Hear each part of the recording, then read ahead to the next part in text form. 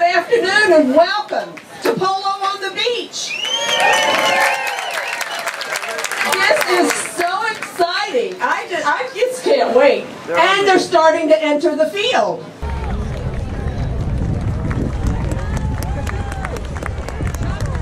Well, in this case, it's called an arena. And this arena is much, much smaller than the regular outdoor field our players are used to playing in the summer. My name is Carol Stahl. It's my job as the announcer to explain to you what I see on the field. We're going to play six regular chukkers of polo. Our mounted official for this first chukker will be Cheryl Arnold. So our players are lined up by the numbers one, two, and three.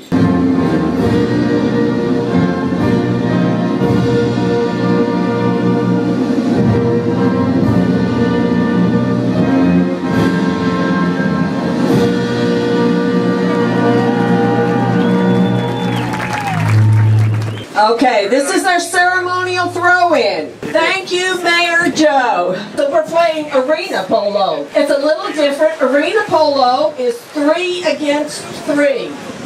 Three on one team against three on the other team.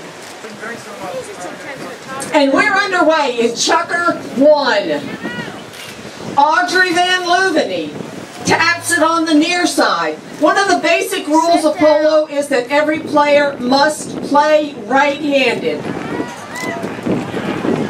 It was almost through, cleared away by Anna Niski.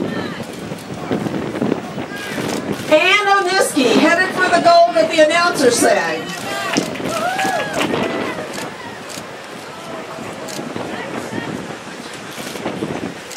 Every player must hold that mallet in their right hand. That has to do with safety and the line of the ball.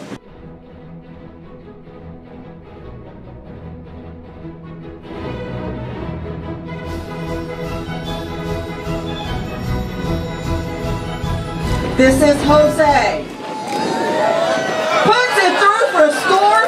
Did it go through for Tinicum Green?